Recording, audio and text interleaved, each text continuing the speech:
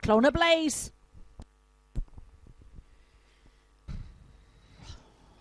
Racing away they go, a flying start from two. Rockybay Foley and away he goes from six, and that's Clona Blaze at the first bend and into the back straight. Rockybay Foley, Clona Blaze, and then comes three Ghost Dancer, and Rockybay goes to bend number three, leading this one out from six and second. Then comes three and four. They're all looking for a space in this one, but up front and two Rockybay Foley for Kieran Lynch is absolutely flying from six Clona Blaze as they go for home, and Rockybay Foley still there and a comfortable win from this beautiful greyhound. Two, six, and four. And what a great run. I'm not even going to look at the clock. It's going to be a flyer. We'll wait for this one.